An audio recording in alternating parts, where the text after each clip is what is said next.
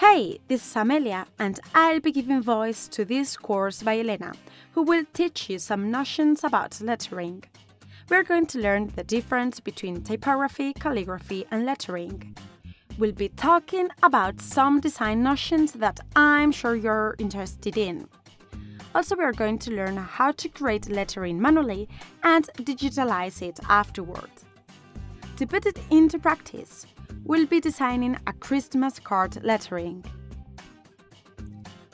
Throughout the course, we'll look for references, create our own mood board, and present the final project in a mockup. If you love lettering and messages, you'll love this course.